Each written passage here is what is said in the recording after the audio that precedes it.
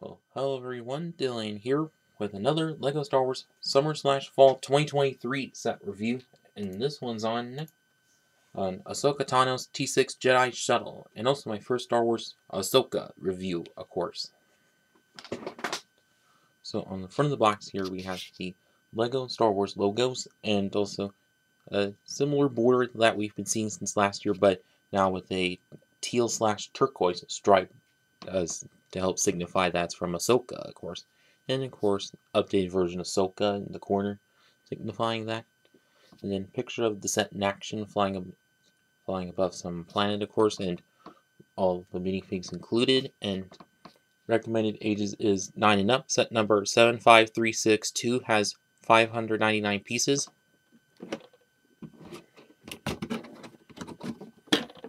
So now onto the back box. See picture of the Jedi shuttle in a landed position and battle of the minifigs going on and all the features of it. And now onto the manual, which which kind of odd rendering like which they have been doing since last summer, of course. Then advertisement how they're transitioning to paper bags, ad for Builder app, and on the back, how to win on the online survey. And then all the pieces that come with the set, of course. And then advertisement of the other uh, fall uh, sets that there are. And the other three of which expect reviews on quite soon, or as soon as I can get them, of course. Then the last building steps, of course.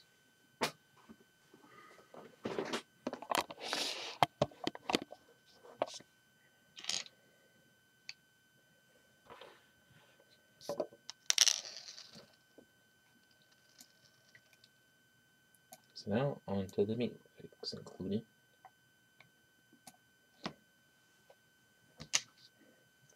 First up, we have a whole nother updated version of Ahsoka Tano. Well, first time the uh, Ahsoka Mandoverse version of her. Whereas the torso print like printing, which all looks quite good, but also lower toe printing uh, as well, of course. And so now the face printing, kind of similar to the version we've had since 2020 for last season Clone Wars, of course, and also uh, which had the side arm printings. Nice update to that, since starting to get a little more common in Star Wars sets. And as for the headdress kind of piece, which all new updated version for that, but however, the the printing and sculpting of it really good for how it is. And then next to which we have a Sabine Wren of which first time outside Star Wars Rebels and also first time being in a set since about 2015, of course. But however, quite different than how she was in Rebels. Like the torso printing is all quite different, but however, looks great for that. And of course, have that recent hair piece, but in purple, trying to suit well suiting to her. And also, like her previous versions, the classic Clone Trooper blasters then there's end. And of course, you also get a, a green lightsaber, most likely, of which otherwise Ezra's right lightsaber from seasons three and four of Rebels, of course. And also do get a little helmet, a Mandalorian helmet piece with some new different uh, prints to it, and also do get, and of course, extra accessories to add on to it like most uh, Mandalorians and uh, clone troopers uh, tend to have, of course. And and now uh, all new and first time included is Professor Huyang, which I see the like headpiece of which there's all the sculpting printing looks great for that. And however, the torso print like printing kind of similar to that of C3PO's, of course, but Although I kind of, what's kind of weird is is why exactly in tan and dark tan when on the show looks a bit more silver that. Although I think gray and silver would have been a lot better, but maybe the tan maybe does later in the show. I'm not sure, but whatever. But aside from that, all of which looks quite good, but although in the show he's kind of a more spindly looking character, although I think regular battle droid pieces could have worked out a little better for that, but at least this switch kind of works out to alright, but yeah. The last which is the new Inquisitor Marrok, of course, which I see for that helmet piece, which well workable in most uh, Knights and Castle themes. And of course has that chest plate and uh, lightsaber hilt as the recent Inquisitors tend to have. And of course, did see this come back last year with Obi-Wan miniseries, of course. But how well, I take that off. And as you see, the torso print, like printing, all looks very good. And also, underneath that helmet piece, just a plain black headpiece. Thanks for that. Maybe it hasn't been revealed as yet, of course. And as for the backside of each of them,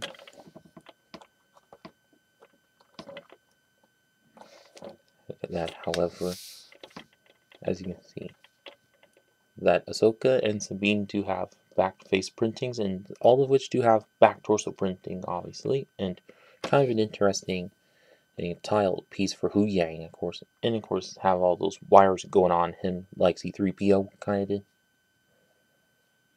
But however, so as for this minifig selection as a whole, which it all of which quite good for how it is, but yeah. And that is it with the minifigs.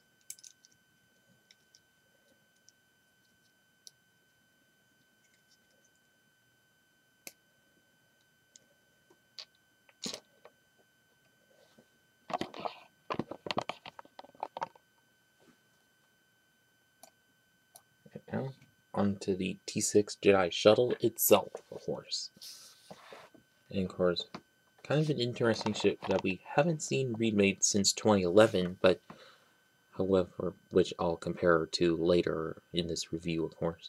Which, as you can see, for the shaping of which kind of quite similar to that, to which, but of course, different color scheme and different uh, modern day Lego techniques, of course.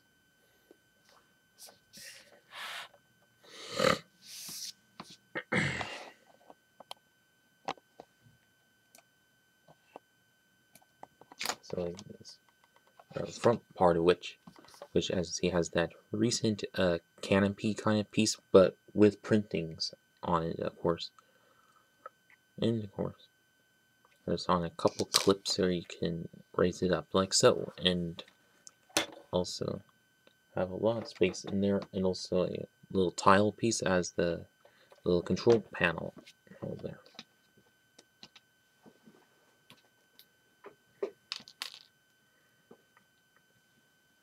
and of course can fit Ahsoka in there. All you kind of have to do a lean back to it and close it over her like so, of course. But then lower it down, which, as for this back section, which see has quite a little good amount of greebling, the details in them, like with the grill piece and so on, and also that little tile has a sticker on it. Plus, there's quite a few stickers in this set, which of course is very good for that. And of course, you can like lift this up, and there's a little bit of storage area. A a storage area. Oh, which is where you can store all the lightsaber in this little section here. And I guess also extra spot for Sabine's helmet, of course. So it all fit nicely well there.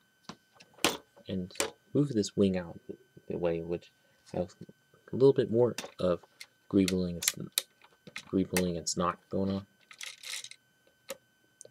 Or maybe just fits just two of the lightsabers.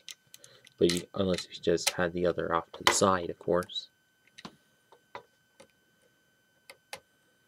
And also do get a little tile piece, also with a sticker on it, just going invertedly, so it can fit in alongside the whole wing part bit, of course. And as for the other side of which, as you can see, perfect symmetry to that. And this top part which you can open right up, of course. And this little part which you, which you can pull right out, and it's kind of a little extra thing for Huyang with like a little little tile piece on there, and oh whoops, also a wrench piece in silver, of course. And as for in that whole section, which all tiled up, and also along with one little jumper part where you can um, attach it onto, of course. And as for the back side of the ship, which has the three cone pieces with the with clear blue dishes on them, and also a clear astromech droid headpiece, but well, without any printings on it, of course. And also a couple of things representing the little blasters behind it. But as for the wings of wing section, which kind of similar to the 2011 version of it, but instead It has different detailing, but of course with newer standards, and this large part of it is a sticker, not printed, of course. And then leading up to near the cockpit section is a pair of stunt shooter, newer style ones that launch like so, of course. And then as for the bottom part of which has this landing gear that can fold right in and without it kind of makes it very wobbly but if you go like outwards and like this and it does stand up quite well of course. And as for the bottom part of which which is doesn't have any access to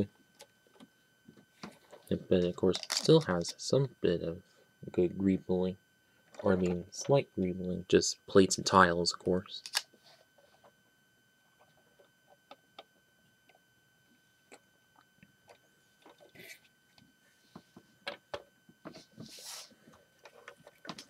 let me take this away.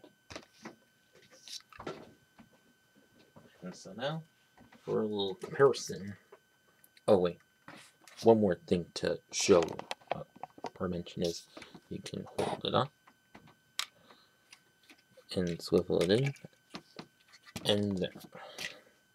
There is in its flight mode, uh, which quite neat for how it is, and but asymmetry on both sides all I think, what I think is that maybe all this tiling which should have been on both sides.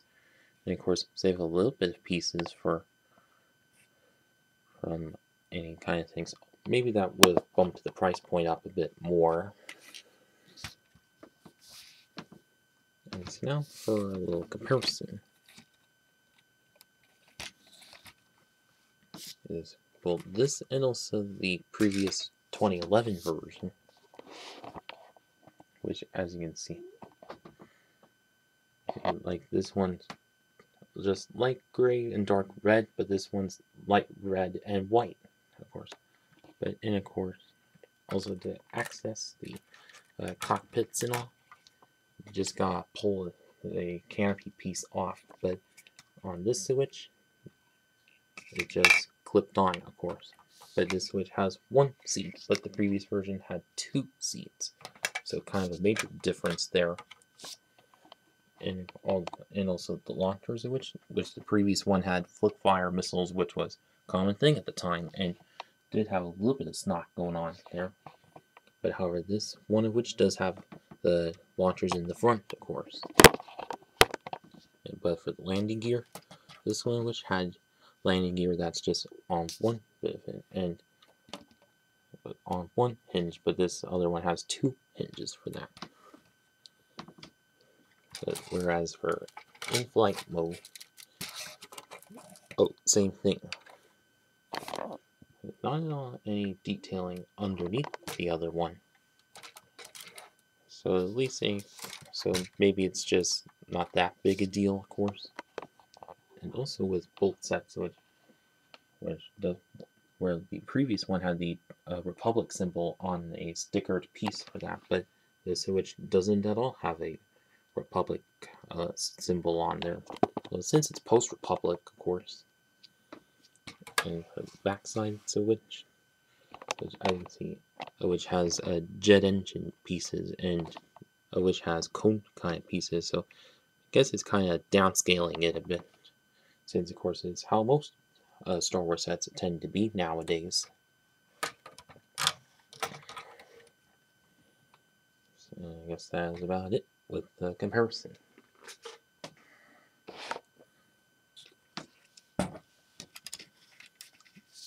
And so now, on to the final verdict.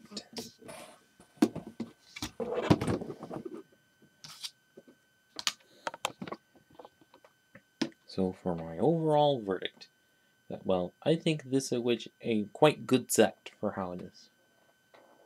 Like, of course, first time this set ever remade since 2011, but and of course the minifig selection, good choices. Like, like obviously getting a new version of Ahsoka in a kind of cheap set for this show of which, good to see here. And also getting Huyang and Sabine also well, Sabine Wren, first time including the set in quite so long. Great to see here. And also nice, great to have Huyang also in a good cheap set as well. But so of course, in this set, which also works out as a good parts pack of light gray and dark red, of course. Because although it may have been maybe worth a little bit more than the previous version of it, well, at least it's still kind of getting used to with newer LEGO standards, but yeah. But and of course do get some more accessibility into it, like which the previous one didn't. But yeah. And also also has a little bit extras for that. And of course, Marrok also kind of some nice minifig pieces to behold there, and yeah. And so now, if you're looking to get this set to start your Ahsoka set collection, then or Ahsoka show set collection, definitely pick this up. And if you are looking to get this for your Mandoverse collection and general Lego Star Wars collection, and also for a good set to get Ahsoka and all, get some Ahsoka feel to it, then also definitely pick this up. And that's about it with this video. Please like, comment, share, and subscribe. Thanks for watching.